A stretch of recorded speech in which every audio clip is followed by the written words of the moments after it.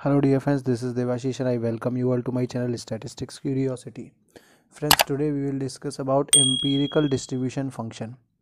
Empirical distribution function, this is the basically uh, one of the foundational topics of basic topics of uh, non-parametric statistics. Uh, if you want to study non-parametric statistics such as a, a test, a important test Kolmogorov-Smirnov test KS test uses the empirical distribution functions in its test statistic to understand those all those topics. We have to understand the empirical distribution function. It is also important from the point of view of upcoming gate, uh, gate statistics examination. So let's start understanding this topic. Empirical distribution function basically denoted by snx or fnx to understand empirical distribution function first assume we have a random sample x1 x2 up to xn. It is a random sample from any distribution from any distribution with CDF capital Fx. Now what is CDF? CDF is cumulative distribution function. See what happens CDF is actually a distribution function for the population data in layman's words and empirical distribution function is the distribution function for sample data or observed data so if you want to know what is a capital fx then i can say that f capital fx is nothing but the probability of x less than equal to small x. Up to certain point. Probability of random variable up to certain point. Up to certain point. This is capital fx now the empirical distribution function if we have a random sample and if we arrange this random sample in order statistics. Order statistics means if we arrange this observation in ascending order then let x1 x2 up to xn is the corresponding is the corresponding order statistics. Then uh, the empirical distribution function the empirical distribution function also known as sample distribution function. The empirical distribution function snx or fnx is denoted by is basically I must say is given by fmx is equals to its value will be 0 if x is less than smallest order statistics or the smallest observation in the sample. And its value will be j divided by n if xj is less than equal to x and is less than equal to xj plus 1 okay and its value will be 1 if obviously j is here 1 2 up to n minus 1 okay up to n minus 1 if 1 if x is greater than equal to xm. Let's say for example if we have following observations um, 4 8 3 2 18 okay then x1 your x1 will be 2 your x2 will be 3 your x3 will be 4 your x4 will be 8 and your x5 will be 18 if we arrange these order, uh, observations in order statistics then what will be the empirical distribution function? The empirical distribution function for value 4 will be what? There are five number of observations. 1 2 3 4 5 you see j divided by n. So for value 4 the empirical distribution function will be what? That will be 1 by 5 and for value sorry for value not for 4 for value 2 okay. Then for value 3 it will be what? It will be 2 by 5 then for value 4 it will be 3 by 5 then for value say 8 it will be 4 by 5 and then at last for value 18 it will be 5 by 5 okay so it is also uh, as it is also a probability kind of function. So its value lies between 0 and 1 okay its values lies between 0 and 1 so in this way we can define the empirical distribution function. Understand its importance. Empirical distribution function gives you the distribution function of observed data or the sample data while the cdf capital fx gives you the distribution function of population of population.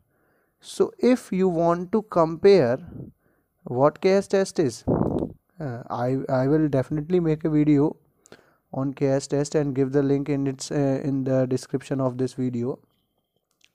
But in the KS test we basically compare a given sample uh, we basically try to find out whether that given sample is obtained from a particular distribution and the particular distribution will follow a certain distribution. So you do not have uh, you do not uh, have 100% knowledge about whether the given sample comes from a particular distribution. But if you want to uh, if you want to test whether this given sample is obtained from a particular distribution. So you have that particular distribution CDF say capital Fx and you can find that CDF of this given sample say Fnx and x, and you can compare both of these and that test is KS test. So uh, I basically try to uh, give you an idea about what is the importance of this empirical distribution function in finding in testing in non-parametric test non-parametric statistics. So let's uh, see some of the properties of empirical distribution function from the point of view of examination or the uh, multiple choice questions. So here I have some of the MCQ some of the uh, one liners some properties regarding uh, empirical distribution function so first property is EDF empirical distribution function is a step function. So what uh, do you mean by uh, uh, uh step function? So what step function is if we take ordered data here okay and the distribution function here and try to uh, make an sketch of fmx or fnx then that sketch would be like this. It will the values will take certain jumps. Such function is known as step function. And the height of these jumps will be inversely proportional to the sample size. The height of these jumps will be inversely proportional to the sample size. Okay so the first property of EDF is that it is a step function or jump function. Second property is if we take limit x tends to minus infinity of this fmx, here I have considered the sample size m. Okay, here this m is sample size, it can be n also. So EDF is a step function limits x tends to minus infinity fmx is equals to 0 and x tends to plus infinity fmx is equals to 1 we have already seen this in the definition of f and x or in the notational things. Next uh, next property is it is non decreasing and continuous at right.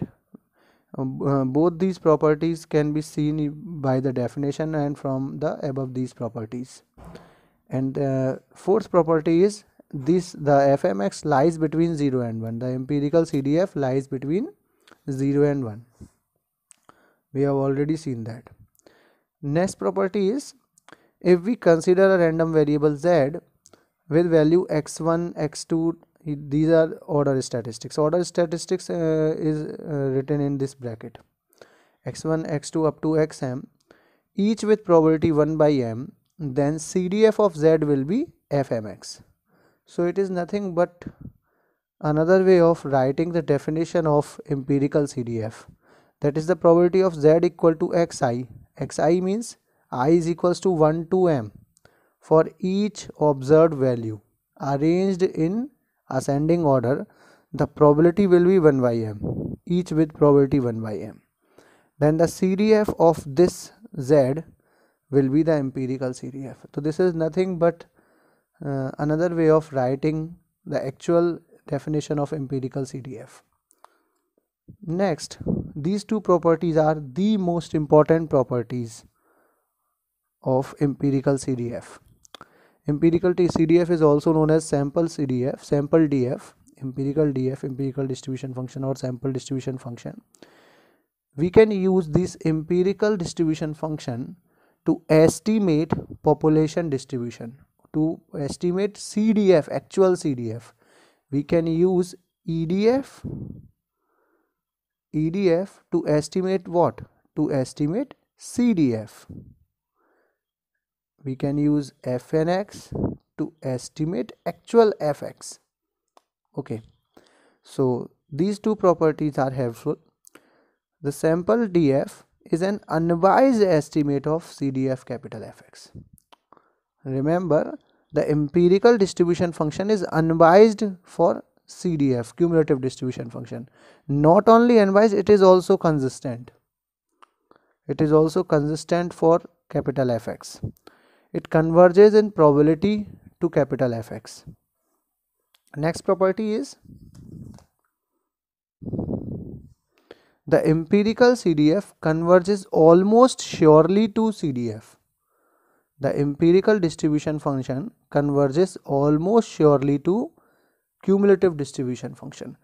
This property is uh, stronger than this property converges in probability because it is uh, basically making you certain that uh, the empirical CDF will tends to actual CDF empirical distribution tends to actual distribution almost surely. Next lemma next property is also known as Glivenko-Cantelli lemma. It states that if we take limit m tends to infinity then the probability of supremum of mode of fmx minus fx, fx greater than epsilon is equals to 0 this lemma this lemma here is used to make the test statistic to construct the test statistic in ks test. Next property is this property is interesting. Next property states if xi's are any distribution if xi is x1 x2 up to xn follow any distribution with pdf fx uh, uh, i have written fx that pdf fx that means if xi's follow any continuous distribution with pdf fx and cdf capital fx then if we take capital fx as random variable if we find different capital fx capital fx at different points for different samples for different uh, data sets obtained from the main population if we have then uh, uh, if we consider capital fx as the random variable then the distribution of capital fx will be uniform 0 1 this is a very important property. You all must have to remember this that if xi follow any continuous distribution with pdf small fx and cdf capital fx then the cumulative distribution function capital Fx follow uniform 0 1 and all these capital Fx's will be independent. But the empirical distribution function that is fmx or snx do not follow uniform 0 1 this is for continuous. This, this follow discrete uniform and are not independent and are not independent. So he, these are the properties related to uh, the empirical distribution functions. These properties i have collected uh, to keep uh, the competitive exams in mind if you like the content in the video please like the video and share the channel with your friends. And uh, don't forget pressing the bell icon. Thank you for watching